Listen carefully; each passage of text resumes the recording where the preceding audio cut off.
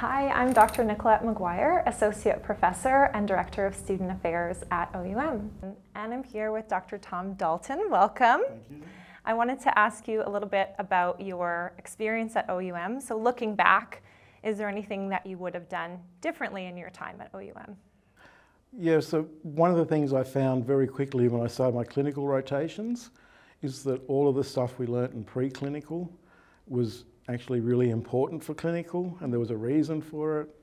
And um, once doctors and consultants start asking you mechanism of action of medications or the process of a cellular action in infection or something, and you go, yeah, we covered that.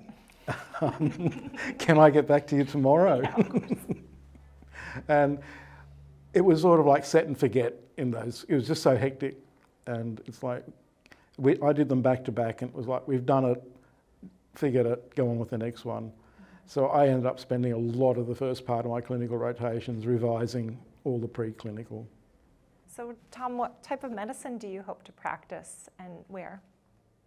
I s- always wanted to be a GP, uh, rural, um, probably not remote, but rural GP.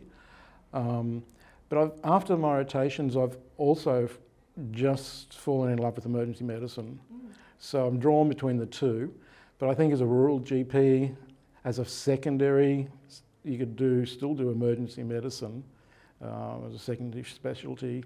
I just found it so interesting and just the teamwork and the way you have to think on your feet and the ability to make calls and discuss things was just amazing. Well, I'm really looking forward to talking with you when you're doing that and asking you some more questions. And I'm really happy to hear about you saying the importance of preclinicals because Yeah. that's where I teach. So I'm biased.